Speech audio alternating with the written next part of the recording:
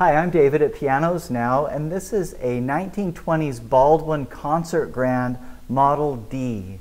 And the restoration included a new soundboard, which is manufactured from solid spruce, very well done, and following Baldwin's original pattern.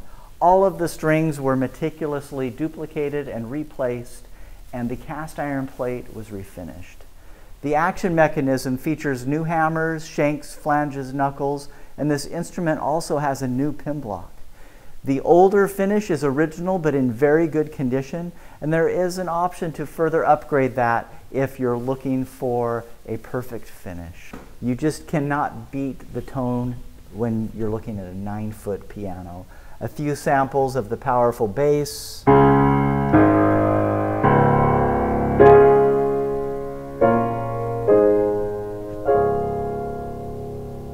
So whether it's a home or an institution, this piano performs very well. It's a very exciting instrument.